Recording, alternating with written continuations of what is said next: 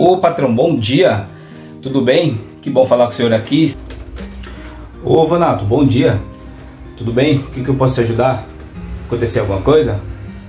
É a respeito daquele aumento que eu pedi pro senhor no mês passado. Quero saber se nesse mês aí o senhor consegue. As coisas estão tá aumentou tudo. Então eu quero saber do senhor aí se o senhor consegue chegar junto comigo aí e vai me ajudar bastante. Posso contar contigo aí? Esse aumento vem esse mês? Ah, eu compreendi. Ô Vanato, mas é o seguinte, cara, como você pode observar aí, a empresa está passando por um momento aí bem apertado e infelizmente no momento agora não consigo dar aumento para funcionário, cara. Então eu peço que você espere mais um pouco, aguarde mais um pouco aí, tá bom? Então, patrão, mas veja bem, só aqui geral, completando em grosso, quatro anos geral. Fala, chego sempre no horário, faço as minhas coisas aí, dentro do, do que o seu prédio, tudo certo. É, é, é, já tem um bom tempo que o senhor não dá um aumento, isso aí me ajudaria bastante. Pô, Vanato, mas há um bom tempo que você trabalha com nós aí, como você disse, sempre faz as coisas tudo certinho e não está satisfeito mais com a empresa? É, bom, de qualquer forma eu vim decidido, eu quero saber então se, a, se o senhor pode me dispensar então, porque eu tenho outros projetos aí, eu preciso ter uma direção, será que o senhor não consegue me dar aumento?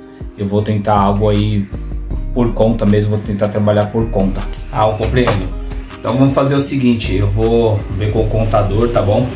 A gente vai ver aí tudo certinho para poder dispensar se realmente é o que você quer, não quer mais fazer parte da empresa. Vamos então fazer o desligamento seu aí, formalizado e pagar todos os seus direitos aí, tá bom? E tenha sucesso lá no que você for fazer. Ah, maravilha! Agora o patrão disse que vai me dispensar, vai pagar todos os direitos. O que, que eu vou fazer? Já vou correr lá na loja, vou comprar minha Fiorino ou a Doblô. Cara, eu tô em dúvida, mas eu acho que eu vou de Fiorino. vou comprar a Fiorino e vou pra rua fazer as entregas. Ah, tô cansado, cara. Aqui eu tiro somente 3 mil reais. E eu tenho certeza que na rua eu vou tirar muito mais que isso, cara. Muito mais que 3 mil reais. Eu vou conseguir pagar minhas contas, fazer minhas coisas tudo certinho. Aqui já não tá dando mais não. Tem descontos aqui. Sei que o valor aí cai bastante e na Fiorina eu vou ganhar muito mais. Liberdade cantor. Bora pra rua. Fui. O cafezinho é bom, né? E olha só, e com muito mais frequência do que você possa imaginar, esse vídeo que eu acabei de postar aí no início acontece com muita frequência, tá bom? Então a história é bem parecida com a minha, só o detalhe lá do patrão não foi tão bonzinho assim, mas existe pessoas aí, donos de empresa, que também é, são bons de negócio, até mesmo na hora que você vai ser dispensado. A gente, é, de uma certa forma, se ilude em deixar a CLT, a carteira registrada, deixar um contrato lá com uma empresa para poder entrar no ramo de transporte e muitas vezes ele entra de cabeça ou por muita emoção de ver eu, você, outras pessoas ali na, na rodagem, no dia a dia, na correria, e ele não, não faz as contas em ver que realmente, olha, pelo que eu coloquei no título, você pode ter certeza, 3 mil reais para ganhar é, com a Fiorino e ela sendo prestação, lembrando disso, que ela tem a prestação a, a ser pago, seguro essas coisas, não é suficiente, tá bom? É, olhando bem, nem mesmo se você for solteiro, pai de família então, nem se fala. Se for para ganhar somente 3 mil reais, nem entra no ramo, cara. Porque é o seguinte, eu fiz aqui um, alguns cálculos, eu vou falar rapidamente para resumir o vídeo e não ficar tão extenso. Então é o seguinte, se você for pegar a Fiorino, ela a prestação e, e você for trabalhar por diária, fechar um contrato com a empresa e trabalhar por diária, e você for trabalhar 5 dias por semana, é, durante 30 dias a diária aí de 170 reais, que é uma média que ele, que ele paga para Fiorino e vai dar um total de 3.400 reais. Então veja só, e aí você vai rodar com esse carro, você vai rodar uma média aí de 200 km por dia, certo? Então agora se você for dividir pela a quilometragem que você roda pela média que seu carro faz, eu coloquei aqui 12 km por litro, fui bem generoso, hein? Vai ser 16.6 litros de gasolina que você vai utilizar.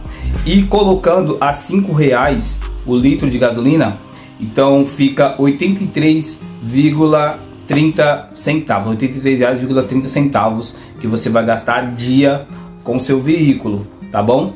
Considerando essas médias que eu coloquei acima. Esse valor então você vai multiplicar por uma semana, que no caso serão 5 dias. 83.3 vezes 5. Aí vai dar 416 por semana que você vai gastar de combustível. Vezes 4, que é um mês, você vai gastar R$ 1.666 de combustível, tá bom? A prestação não tá somente isso não, tá? R$ 1.400 pagando na Fiorino, isso vai te restar então R$ mil reais. Eu nem coloquei o seguro aqui, então você vai ter aqui R$ mil reais só tirando aqui a, o valor da prestação. Você lembra do combustível? Esse valor então você vai descontar do dois mil reais menos 1.666, qual que vai ser o valor que vai te sobrar?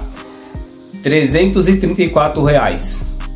Desse valor aqui, ó, de 3.400, vai te sobrar 3, 334 reais. Desses 334 reais, aí você tem que contar. É, você vai tirar o seu salário daqui, você vai pagar aí uma um pedágio, com certeza você vai pagar pedágio. Você vai pagar também o seguro do seu carro você vai pagar alguma manutenção, algum óleo, algum pneu que furou, alguma coisa você vai pagar. Então você pode prestar muito bem atenção que não vai compensar você deixar, nesse caso, deixar um salário de carteira assinada. Veja bem, veja bem o cálculo.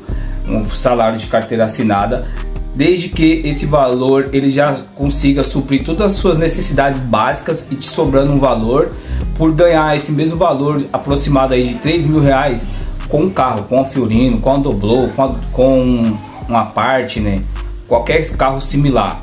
Então é o seguinte, você tem que fazer o cálculo, cara. Se você for entrar em uma diária de 170 reais, você reveja muito bem, por mais que é tudo que você queira fazer, estude bem o mercado, escute bem esse conselho aqui, cara analise bem o mercado, veja as suas condições, veja, reveja todos o, o, orçamento, cara. Faça esse cálculo, tenha mais ou menos aí a noção. Entra no, no grupo também, a galera passa um, uma ideia bacana para que você venha fazer um bom negócio aí e não se arrepender no futuro, tá bom? Então esse foi o vídeo de hoje, é a, a mensagem que eu quis passar aqui para quem está pensando em começar no ramo. De maneira nenhuma eu quero desanimar, mas eu quero te alertar em dizer que, principalmente se você é pai de família, aí, se você tem uma responsabilidade aí, assim como eu, que tem a responsabilidade da, da família, de, da filha, da casa, de pagar as contas no geral. Então, pense bem na hora que você for fazer esse, essa tramitação saindo do, da CLT para você começar no esporádico, por exemplo. Ah, outra coisa, nem citei. Esse aqui foi só exemplo de diária. Mas se você for para o esporádico, isso daqui então muda muito, porque nada é garantido no esporádico. O recado é para todos, mas é necessário entrar com consciência. Valeu? Vou finalizando por aqui. Forte abraço, tamo junto.